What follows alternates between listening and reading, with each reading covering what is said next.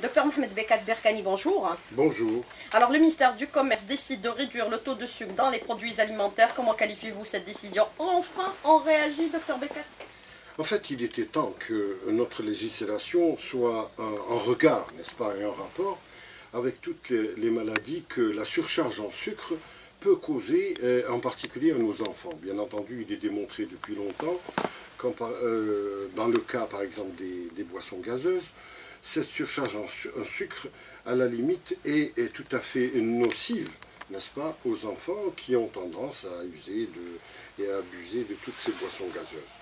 Bien entendu, la réglementation doit être euh, assez limitative, il faudrait le faire rapidement. Les médecins et les nutritionnistes ont depuis longtemps tiré la sonnette d'alarme concernant, euh, n'est-ce pas, cet état de fait que euh, si avant le, sucre, l'adjonction du sucre dans les boissons gazeuses était considérée comme euh, un adjuvant alimentaire. Maintenant, on sait très bien quelle est la nocivité de cette substance et, d'essayer de diminuer dans les textes, n'est-ce pas, pour qu'à la base le fabricant puisse se conformer à cette législation qui est au bout du compte non seulement économiquement préjudiciable sur le plan de l'importation, bien entendu, du sucre et d'autres dérivés sucrés, mais aussi préjudiciable à la santé de ces jeunes.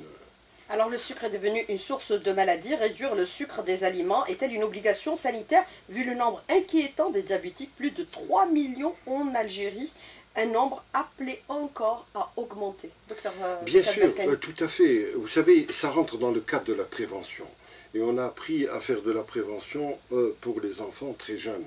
Et on a appris à connaître qu'au bout du compte, l'obésité, en, quelque sorte, préparée à ce genre de maladie métabolique qu'est le diabète, qui est une maladie qui est somme toute, euh, toute nouvelle, n'est-ce pas, dans nos pays, dans nos contrées, dans les régions méditerranéennes, étant donné que nous avons rejoint sur le plan du régime alimentaire euh, les régimes alimentaires qui sont importés d'Europe, nos enfants mangent de plus en plus gras, ils mangent de plus en plus sucré, par conséquent, ils sont tout à fait prédisposés à faire ce genre de maladie qui, comme vous le savez, nous coûte chaque année, n'est-ce pas, en matière de, soins et, de traitement, des sommes considérables, sans parler de la morbidité en elle-même et aussi des complications que peut, que vous diront les spécialistes de ce côté-là, complications du diabète sucré.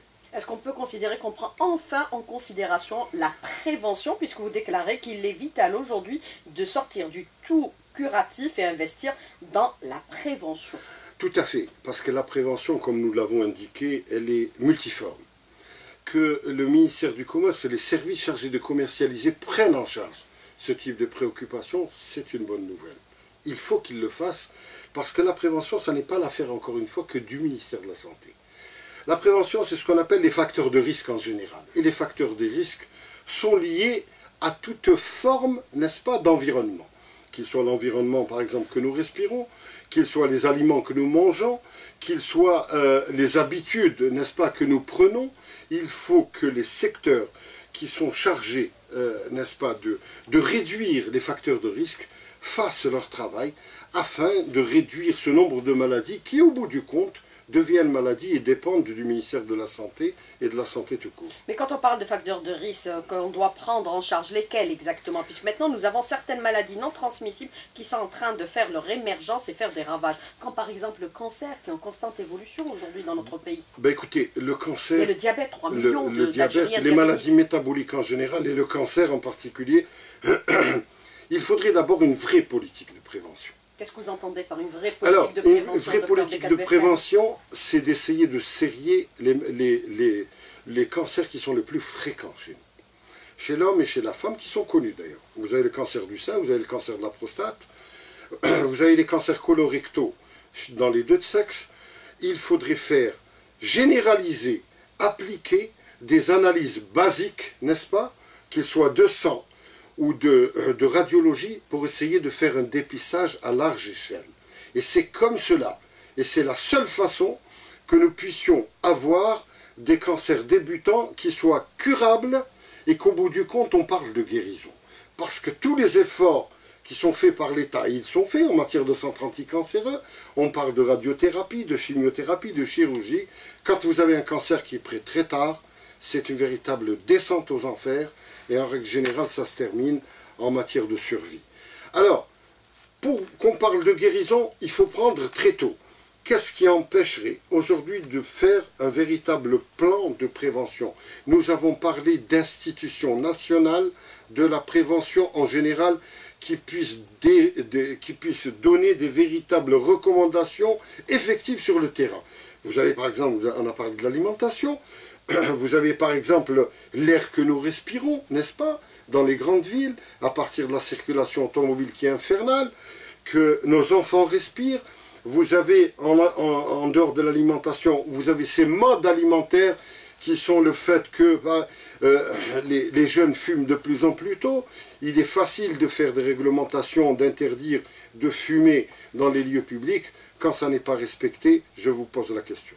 Mais un plan de prévention sanitaire, qui doit le prendre en charge Est-ce que c'est un plan qui doit être aussi parallèlement multisectoriel, impliquant Quand tous vous les avez secteurs que vous avez Vous avez le commerce, vous avez Vous avez une institution les euh, transsectorielle qui puisse délivrer des véritables oukas et des interdits, n'est-ce pas?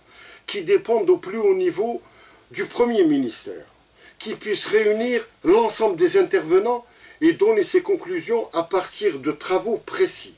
Un et tirer les secrétariat sonnettes- d'État à Non. la prévention. Un secrétariat d'État à la prévention, une institution nationale de veille, de, de recommandation. Dans certains pays très industrialisés, vous avez des institutions dans des économies libérales qui donnent des arrêts concernant tel ou tel type de médicaments, d'aliments, de comportements, etc. On n'a pas le droit d'utiliser ça parce que ça devient un problème de santé publique. Alors Pour nous, des considérations sanitaires, ils interdisent même euh, l'entrée sur leur territoire de produits alimentaires. Tout à fait. Sans Parce qu'ils soient ce sont des chaînes. au niveau bien de la sûr. frontière. Ce sont des chaînes. Parce qu'au bout du compte, quand vous avez sur la défensive la maladie, une fois que la maladie est déclarée, ça coûte cher. Le cancer, ça coûte encore plus cher. Les médicaments anticancéreux, si on parle de médicaments, ce sont les médicaments qui sont la charge de plus de 50% des pharmacies hospitalières et coûteront de plus en plus cher. Les laboratoires actuellement dans le monde font des recherches vers ces médicaments, ne recherchent pas les antibiotiques, mais plutôt les anticancéreux parce qu'il y a un bénéfice qui est très important. Alors, pour nous, la seule façon de nous en sortir, c'est de faire la guerre à tout ce qui pourrait faire des cancers en tout genre. C'est connu, il n'y en a que quelques-uns. Qu'est-ce qui empêcherait de dire, à partir de 40 ans, que la sécurité sociale prenne en charge une euh, mammographie chez des femmes qui sont, euh, ne serait-ce qu'à risque, de façon tout à fait complète, n'est-ce pas? Pas euh, chaque année. Qu'est-ce qui empêche de faire un dosage des PSA pour, des, pour euh, dépister le cancer de la prostate qui devient de plus en plus fréquent en Algérie Mais pour la Ça, mammographie, elle est prise en charge par la CNAS. Oui, mais il faut informer les gens. Comment voulez-vous que la ménagère de plus de 40 ans qui habite à l'intérieur du pays sache que- qu'elle est prise en charge ou qu'on peut faire une, une mammographie? Elle ne le sait pas. Il faut informer les gens. La prévention, ça commence par l'information de la, de la politique de santé préventive. Et c'est comme ça que ça doit marcher. Vous savez, nous avons la chance d'avoir des télévisions qui sont multiples et pu- publiques et privées. C'est l'information qui compte. Essayez de montrer l'aliment qui puisse, euh, n'est-ce pas, qui puisse être nocif.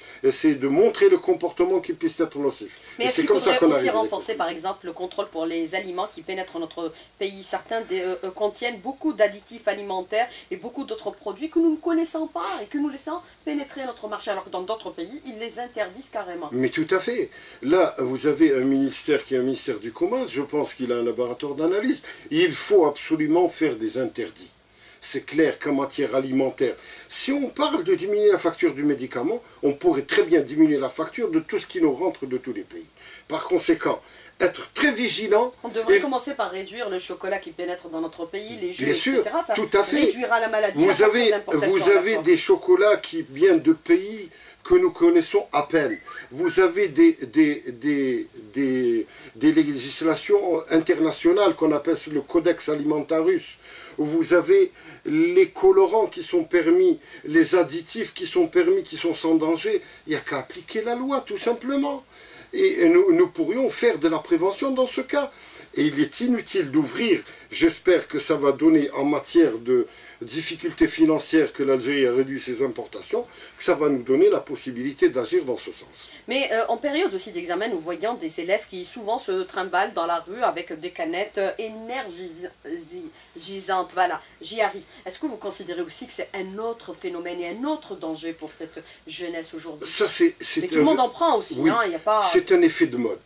Il faut, encore une fois, informer nos jeunes qu'il n'y a pas plus énergisant qu'un jus de fruits quelconque, et ce n'est pas les Naturel. fruits qui, bien sûr, qui manquent dans notre pays, même concentrés, qu'ils soient un jus d'orange, un jus de pêche ou d'ailleurs, que ces euh, véritables mixtures sont bonnes dans les supermarchés américains, européens, pour des gens qui sont en mal de prendre des médicaments dits énergisants, et qui coûtent énormément cher et qui ne servent strictement rien du tout qu'à dérégler un système, euh, n'est-ce pas, hormonal ou autre. Par conséquent, il faut absolument les réglementer, absolument euh, visiter ces, non seulement les grossistes, les importateurs, mais aussi les détaillants qui ne fassent pas ce type de publicité vis-à-vis de nos jeunes et passer, vous savez, un examen pour les étudiants. Il n'y a pas mieux que les neuroexcitants qui sont très connus, le thé ou le café, ou prendre, voire même quelques énergisants qui sont naturels, et c'est ça, ça vous donnera encore plus de résultats que toutes sortes Mais de est-ce que les chimiques. producteurs devraient aussi s'adapter, c'est-à-dire euh, mettre euh, des indications sur le produit pour dire que ceci est nocif pour la santé, comme c'est le cas par exemple pour la cigarette. Même si on continue quand même à fumer, euh, beaucoup continuent à fumer malgré le fait que euh, le, la- le- le paquet comporte des images extrêmement effrayantes. Le- ça n'est pas tout à fait la même classe de risque. La cigarette, c'est un risque qui est démontré, qui est certain. Par conséquent, ce sont des produits qui sont plus que dangereux pour la santé. Mais les, Mais produits les, les produits énergisants, sont sont- ne sont pas recommandés. Alors, les réglementer et aussi informer de façon globale le danger qu'il y a à leur prise, n'est-ce pas, euh, sur le plan de la... Vous savez, les jeunes sont très croyants des risques qui sont induits, mais ils pensent qu'ils ont un intérêt certain à prendre une boisson X pour augmenter leur capacité physique, voire Il y a l'effet de intellectuelle. mode aussi, hein. Euh, oui, il y a un effet de mode, mais avant que l'effet de mode ne passe, je pense qu'il faudrait prendre des mesures. Alors, docteur Mohamed Bekat Berkani, merci de répondre à nos questions. Restez avec nous pour la deuxième partie de l'invité de la rédaction. 7 minutes sont consacrées aux questions des auditeurs. À tout de suite. Alors, docteur Mohamed Bekat Berkani, moi, je voudrais revenir avec vous sur certains aspects liés à la santé euh, publique aujourd'hui. Mettre en place un registre national du cancer, c'est un impératif? Vous savez, il y a actuellement une volonté d'avoir, euh, euh, disons, un registre national du cancer qui se fait actuellement, mais euh, les données, cette base de données, euh, qui va nous permettre, n'est-ce pas, d'avoir un véritable plan, surtout en matière de prévention du cancer, voir quelles sont les régions qui sont les plus concernées par rapport au mode de vie, au mode alimentaire, au mode de consommation, et aussi au comportement des populations qui sont locales, disons localement ciblées. Il faudrait absolument que le cancer soit combattu sous toutes ses formes. Avoir une idée de façon euh, écrite du nombre de cancers dans telle région. Vous pouvez avoir des cancers ou qui sont prépondérants dans une région par rapport à une autre, qu'on doit comprendre pourquoi l'épidémiologie du cancer est plus importante dans telle ou telle région. Ça nous permettra d'avoir un comportement d'abord préventif, pour faire diriger cette action, et ensuite curatif. Parce que si je mets un centre anticancéreux euh, à coût d'investissement énorme dans un endroit où je n'aurai pas, excusez-moi du terme, de malades à pourvoir, ça sera une perte sèche pour la santé publique alors que les malades sont plus importants dans la région voisine. Et ça m'évitera, euh, n'est-ce pas, de trimballer mes malades de façon. Alors, le registre du cancer, il faut que nous ayons absolument cette possibilité de nous rendre compte de ces chiffres. Mais la création de centres anti-cancer, est-ce la seule solution aujourd'hui? Faut-il aussi travailler en amont par rapport à la formation des, euh, des, des malades, euh, des, plutôt des- du personnel qui doit accompagner parallèle, parallèlement ces, ces malades atteints Oui, du cancer, par exemple les physiciens aujourd'hui, Bien sûr. Vous avez tout d'abord les médecins, les oncologues. les oncologues. Vous avez euh, les- le personnel technique qui puisse faire marcher ces machines d'accélérateur et de, et de radiothérapie, n'est-ce pas? Et vous avez aussi la maintenance. Il est important de pouvoir former des techniciens, des ingénieurs pour la maintenance d'ores et déjà. Mais la formation des médecins, faut-il aujourd'hui la renforcer davantage par rapport à bien ces entendu, nouvelles maladies nous avons, nous avons, si vous parlez de la formation, formation c'est un, vous avez la formation des cancérologues en général sous toutes leurs formes. Il faudrait que les facultés de médecine, dans leur spécialité, qui deviennent de plus en plus pointues, puissent former des oncologues, je dirais entre guillemets spécialisés, qu'on puisse avoir des avis très pointus par rapport à cette technologie avant-gardiste qui est très pointue de la lutte anticancéreuse, pour pouvoir, pouvoir doser, n'est-ce pas, tous ces appareillages de lutte contre le cancer et bien sûr de les réparer le cas échéant. Ça, c'est une nécessité. Il faut dire ce qu'il en est. Toutes ces années, nous avons euh, réalisé un petit impair en nous endormant, en ne nous équipant pas de ce genre de technologie. Et je pense qu'il faudrait mettre les bouchées doubles dans ce cas. Mais certains considèrent que la formation des médecins aujourd'hui au niveau de nos universités laisse à désirer. On forme beaucoup d'ophtalmologues, beaucoup de gynécologues, beaucoup aussi de médecins généralistes, mais très très peu de spécialités par rapport à ces maladies que nous rencontrons aujourd'hui. Par exemple, dans le domaine de la cardiologie. Tout à fait. Sur l'Alachmi, nous l'avons dit. Les pneumologues. les spécialités généralistes ont vécu. Maintenant, c'est spécial, la spécialité de la spécialité. C'est la raison pour laquelle on n'arrive pas à faire la greffe. Et c'est la raison pour laquelle un institut, n'est-ce pas, qui puisse décompter l'épidémiologie dans notre pays, adapter, c'est comme l'industrie par rapport à, à, les universités. Il faut, dans le service après-vente, je dirais entre guillemets, des médecins, qui puissent s'adapter à la pathologie qui est en, qui est en place. Alors, la formation, tout d'abord la formation des médecins, il faut la, réaliser de façon euh, plus performante. Vous savez, nous avons dit que la médecine est francophone, il faut probablement donner des cours de français, ne pas avoir froid aux yeux aux étudiants de première année. Ils ne comprennent pas leurs cours d'anatomie, de biochimie ou de pathologie. Ça, c'est une réalité et les enseignants vous le diront. Donc, essayez de leur faire comprendre cette langue pour laquelle ils sont promis à étudier et à exercer, bien entendu. Ensuite, essayez de leur donner des spécialisations comme le font des pays qui ont réussi. Vous allez dans les États, aux États-Unis d'Amérique, vous avez très tôt la spécialisation qui se fait. Alors nous, c'est la médecine générale. se comparer dans l'état actuel aux États-Unis? Non, mais on, pourrait se comparer peut-être aux Tunisiens. On peut, non. Euh, nous avons adopté le système français, qui est un système généraliste ensuite élitiste. Vous voyez, nous, il faudrait trouver une solution pour essayer de donner très tôt des notions de spécialisation à nos futurs spécialistes qui puissent, n'est-ce pas, dans leur jeune âge, nos jeunes praticiens, avoir des, des solutions très tôt parce que, vous savez, on est limité intellectuellement par, l'âge, qui puissent s'exercer dans ces, euh, euh, ces, je dirais, pathologies euh, qui sont émergentes. Vous avez par exemple le cancer, moi je forme des cancérologues très très tôt, le cancer, de, de, tel type de cancer, pour essayer non seulement qu'ils puissent guérir et faire des, diagnostics vis-à-vis -vis des malades, mais faire de la recherche aussi. Nous avons l'espoir qu'un jour, dans notre pays, dans notre pays, on puisse faire de la recherche pour essayer de trouver des solutions qui soient des solutions pour, euh, pour nos maladies et qui nous coûteront moins cher. C'est ce que nous espérons tous. Euh, par rapport à certains médecins qui sont inexistants au niveau de certaines localités, mais ce qu'on est en train de voir, c'est qu'on est en train de pouvoir des médecins dans des spécialités qui sont connues. Par exemple, souvent, on retrouve un gynécologue, mais très peu de cardiologues. On trouve un généraliste, mais on ne trouve pas les autres spécialités. C'est par rapport à la formation de ces médecins Le problème des déserts médicaux euh, complémentaires, je dirais. Parce que vous avez besoin d'un avis multiple. Il faut recréer une vie médicale dans un hôpital. Vous ne pouvez pas avoir un chirurgien tout seul et à côté, vous n'avez pas de gens qui puissent l'éclairer dans d'autres pathologies. Mais il Ça, c'est un problème récurrent. C'est un problème récurrent. Nous avons demandé aux autorités concernées à ce qu'il y ait euh, des véritables équipes. Comment le problème du service civil en lui-même est totalement euh, contraignant. Il n'est pas satisfaisant pour les jeunes. Les jeunes, vous avez des couples de médecins, il faudrait occuper des postes, mais aussi les rétribuer que, euh, en fonction de ce qu'ils demandent. Ça, c'est une réalité, on ne peut pas y échapper. Mais c'est une année, c'est rien.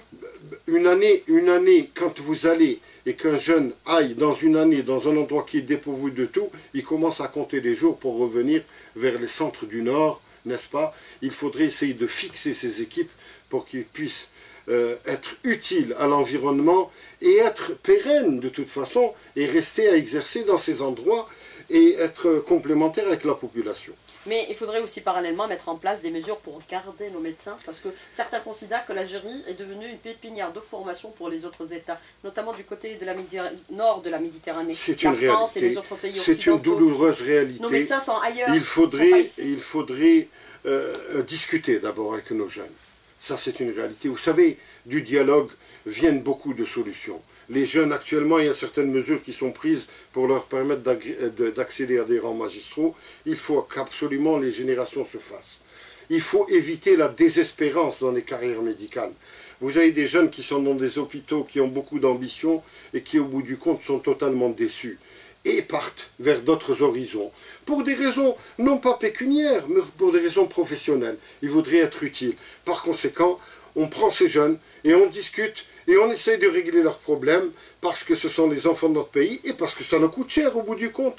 Vous formez quelqu'un pendant un bac, bien sûr, bac plus 15, et il s'en va faire profiter les services français ou d'autres pays maintenant du Golfe, puisque c'est devenu la mode. Ils sont 6 000 pratiquement en France. En France. Améliorer l'état de nos hôpitaux, un impératif également, docteur Beckett. Ben écoutez, nous l'avons dit que les hôpitaux, euh, les vieux hôpitaux ont vécu. Malheureusement, nous sommes tombés dans une période de baisse des investissements ou de retard des investissements. Mais ça fait rien qu'à cela ne tienne. Il faut optimiser le travail hospitalier. Il faut optimiser le travail humain hospitalier, complémentarité entre les médecins qui ont cette responsabilité, le personnel paramédical, ceux qui sont chargés de l'accueil, le personnel, euh, euh, n'est-ce pas, des services. Il faut assurer la sécurité. dernièrement, il y a eu des mouvements sociaux en parlant de la sécurité du personnel médical et paramédical. Il faut s'attaquer à tous les problèmes de front. Mais il n'y a qu'une seule façon de le faire, c'est d'essayer de parler à tous ces gens qui font ou qui espèrent faire la santé dans notre pays et d'essayer de trouver des solutions sur place. Non pas essayer de différer les problèmes et de considérer que ce problème est plus important que l'autre. L'état de nos hôpitaux est encore dans une situation que le grand public connaît et que vous connaissez moi, vous et moi. Alors, euh, autre question des auditeurs, et elles sont nombreuses, sortir du tout curatif, oui, mais il faudrait alors une vraie politique de santé publique. Tout à fait. Une politique de santé publique, ça se fait. Nous avons dit, rapidement, sur Lachmi, quand vous faites un plan de prévention, c'est une feuille de route qui, chaque responsable de la santé, quel qu'il soit, doit s'adapter. Parce que les maladies, elles, émergentes, ne changent pas. Par contre, la politique de santé, elle doit être pérenne. Quand on parle de la lutte contre le cancer de tel ou de tel organe, il sera de toute façon, aujourd'hui on peut faire la, projection de ce qui nous arrivera dans 10 ans ou dans 15 ans, à moins de changer de pays ou d'environnement.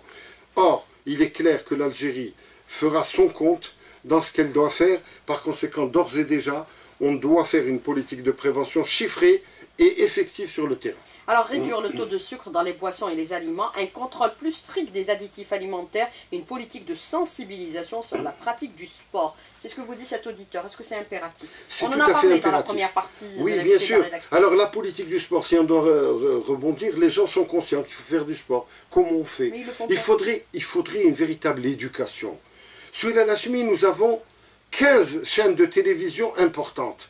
Qu'est-ce qui empêche comme certains pays, de faire de la publicité limitative en disant attention, tel produit, je fais de la publicité pour tel ou tel aliment, mais attention, ça peut vous causer des dommages. Il faut faire du sport, il faut courir, il faut marcher pour ceux qui n'arrivent pas à courir, etc., etc. Cela se fait ailleurs, on dit faites du sport, tout à fait. 5 aliments, 5 légumes et mangez 5 fruits Et ça ne coûte rien du tout. Ça coûte cher. Et ça ne coûte rien du tout, ça coûte cher. Ça, coûte, très cher. manger 5 fruits par jour, ça coûte cher. Ça coûte très cher. Alors, autre question euh, des auditeurs, ils vous disent aujourd'hui, existe-t-il une médecine alternative loin des médocs? Je crois que c'est des jeunes. Et les produits chimiques. Les médocs, c'est les médicaments. Sur la chimie, moi j'ai consacré toute ma vie à la médecine. La médecine fait des progrès. Il n'y a pas de médecine officielle et de médecine alternative. Il n'y a d'alternative qu'à la science par une autre science. Nous sommes en pleine découverte. La médecine fait des progrès très importants. Pourquoi voulez-vous qu'il y ait quelqu'un dans son coin qui puisse trouver, ça existe le miracle, qui puisse trouver une solution thérapeutique à quelque chose dont des laboratoires très techniques dans le monde cherchent depuis des années? Alors, faisons confiance à la science, à la science médicale, qui n'est pas une science qui est parfaite, mais qui est en constante évolution.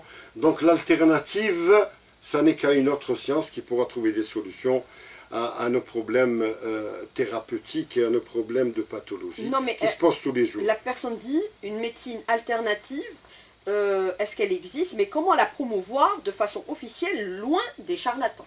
Ce que nous connaissons un peu dans, dans certains par endroits. Écoutez, appelons un chat un chat. Vous avez les, les, les, les comment dirais-je, les vendeurs de, de, de mixtures, de, les, les herboristes en tout genre. Ils ont toujours existé ce sont des gens qui sont probablement en complément d'une médecine tout à fait scientifique.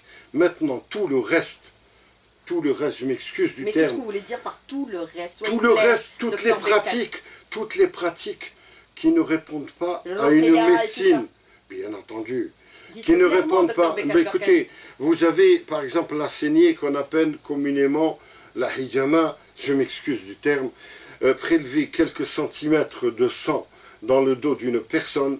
C'était l'apanage des Algériens dans les années 40 ou 50 avant l'indépendance, parce qu'ils n'avaient pas les moyens de se soigner vers la médecine moderne et qui ont des espoirs de cause aller dans les marchés. Il ne faut pas qu'aujourd'hui, au XXIe siècle, à l'ère des scanners des IRM, qu'on nous dise que c'est une, c'est une, euh, c'est un geste qui est tout à fait important. Donnez-moi des arguments scientifiques, que quelqu'un qui puisse dire, par exemple, comme dernièrement, euh, j'ai découvert un médicament contre le diabète qui puisse passer par toutes les formes d'expérience sur les animaux, les essais cliniques, et qu'au bout du compte, qu'il les, les autorisations qui existent dans notre pays, dans, qui est un état de droit, ministériel ou autre, et qu'on puisse probablement euh, commercialiser ce produit et l'exporter à l'étranger. Vous savez, ça nous ramènera probablement des devises et ça nous servira à sortir de la prépétence. Mais justement, puisque vous abordez cette question, finalement, il n'a pas découvert le médicament contre le diabète. Je ne sais pas. C'est un additif Je comme lui-même, il l'a reconnu. L'additif alimentaire pour des diabétiques, permettez-moi d'en douter, les additifs alimentaires sont sucrés, par conséquent le sucre, on est toujours dans, dans, le début de l'émission, le sucre, c'est ce qu'il faut diminuer chez le diabétique. Alors qu'on fasse des preuves scientifiques, ça suffit, l'Algérie est un état de droit, que quelqu'un qui découvre quelque chose, les pasteurs qui a découvert qui a découvert le vaccin de la rage, ça peut exister, mais il faudrait prouver ce qu'on dit, en tout cas ce qu'on fait. Mais justement, par rapport à cette question, vous l'avez soulevée un instant, le hijama, mais beaucoup vous disent, parmi même les universitaires, le hijama c'est sunna, et que le prophète pratiquait le hijama. Vous savez, nous sommes tous des croyants. L'Algérie est musulmane de par la Constitution. Mais vous avez des situations... Pas seulement de par la Constitution. De, la Constitution, de par la population. nous sommes musulmans, c'est un fait bien établi. Mais il faut mélanger il faut pas mélanger le fait qu'aujourd'hui, dans la vie terrestre, et, le, prophète, euh, euh, il faut essayer de faire en sorte de sortir le malade de la situation dans laquelle il se trouve.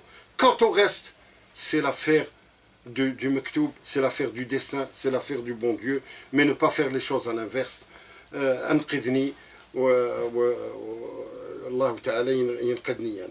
dans tous les cas, il ne faut pas rester assis et attendre la miséricorde.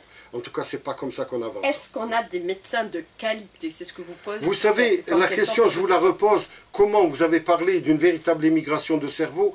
Comment tous nos jeunes arrivent à peupler les services d'urgence et les services? Il y a quelqu'un qui avait dit une fois à l'Ordre national des médecins français, si tous les médecins algériens et étrangers bien sûr, et en particulier algériens, partaient des services d'urgence, les services d'urgence seraient dans un chaos dans la France métropolitaine. Alors, les médecins algériens, ce sont des médecins quand même de qualité, même si la formation, même si la formation elle laisse à désirer parfois. Ils arrivent, ce sont des garçons, des filles, plus que des garçons d'ailleurs, qui sont d'une intelligence au-dessus de la moyenne.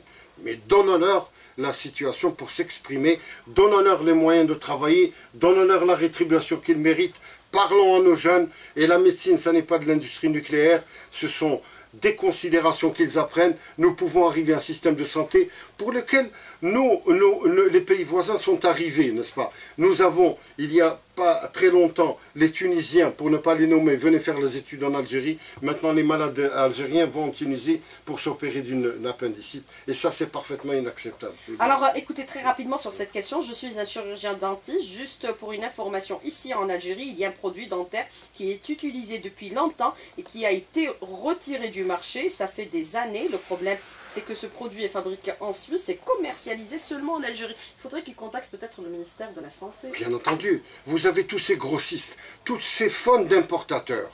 500 importateurs de médicaments et de produits en tout genre. Qu'attend le ministère de la Santé le ministère du Commerce pour faire une espèce de... de Comment pouvons-nous accepter des produits qui sont jetés par les codex alimentarius ou autres? Ça, il, est, ça il s'agit, et ça revient à la prévention, de faire un petit peu le ménage de nous, chez nous. Nous payons tous ces produits qui sont parfois nocifs à, notre santé. Alors, autre question, ils vous disent que les médecins algériens recourent énormément à la prescription médicale. Vous sortez avec une ordonnance où il y a 14, même 15 médicaments. C'est une réalité détestable. Vous savez, quand vous allez voir un médecin... Ça fait augmenter la facture. Bien entendu, qui vous dit euh, vous n'avez rien du tout, la première des choses étant, euh, c'est la relation médecin-malade. La première des choses, le, le, malade qui est convaincu... Pas le générique. Oui, qui sont convaincus qu'ils ont quelque chose. Si vous en sortez avec des, des, des, un médicament, on vous en dira de vous qu'il ne connaît pas ou n'a pas connu. C'est l'éternel problème de la relation médecin-malade. Mais là, la relation, bien entendu, la relation médecin-malade, c'est d'essayer de faire, toujours dans la prévention, d'essayer d'expliquer à son malade. Et aussi, les gens sont conscients de plus en plus, ne croyez pas. Ils voient Internet, ils voient quels sont les médicaments qui sont nocifs. D'ailleurs, parfois, ils viennent vous voir, et je suis médecin praticien, ils viennent vous voir en vous disant, docteur, j'ai lu sur Internet que tel ou tel, euh, à tort parfois, que tel ou tel médicament ne puisse pas me rendre service, bien au contraire. Mais il y a l'automédication aussi. Bien le entendu. phénomène de l'automédication. L'automédication, de, de moins en moins, vous savez, avec, le système du tiers payant, dans la mesure où vous avez votre carte Chifa, les gens rechignent un petit peu à payer des médicaments qui sont de plus en plus chers. Par conséquent, de ce côté-là, l'éducation sanitaire, vous avez abordé ce problème, elle est à faire. Mais ce qui compte, c'est d'essayer de rassurer notre population et de les prendre en charge pour des, euh, vous avez parlé des, de ces affections fatales, de ces affections que sont le cancer. Alors très très rapidement sur cette question, qu'en est-il des pesticides et herbicides qui sont utilisés dans nos aliments? Très les, rapidement. Les pesticides, vous avez un ministère qui est le ministère de l'Agriculture. Qui doit contrôler. bien entendu. vous avez hein. Toutes ces pommes, n'est-ce pas, qui nous viennent de l'étranger et dont on dit, je ne, je ne suis pas un spécialiste de l'affaire, que les pesticides se concentrent au niveau de la peau et qui coûte 350 dinars le kilo et que nous donnons à nos enfants, n'est-ce pas Parce que les et adultes... qui ne pourrissent pas qui ne pourrissent pas, bien entendu, parce qu'ils sont sous l'effet de ce que vous dites des, pesticides. Alors, comment on fait des pesticides. Moi, j'en ai parlé, et nous sommes consommateurs pour ramener, vous vous rendez compte, à des malades des pommes. Nous allons dans les services hospitaliers avec euh, un kilo de pommes pour un malade, c'est-à-dire qu'on est en train, bien entendu, de lui donner quelque chose qui est probablement nocif à sa santé. Alors, comment on fait que chacun puisse prendre ses responsabilités et qu'il y ait une institution sous Hachmi qui soit un chef d'orchestre, ministère de l'Agriculture, du Commerce, de la Santé, du Travail et des Affaires sociales, et qui fasse chanter tout cet orchestre en commun et qui puisse délivrer des interdits que nous puissions faire de la prévention avec un grand P. Alors on a beaucoup chanté ensemble ce matin. Docteur euh, Mohamed Bekal Berkani, à bientôt, au revoir, bon week-end. Je vous remercie. Également. Je vous remercie à vous aussi.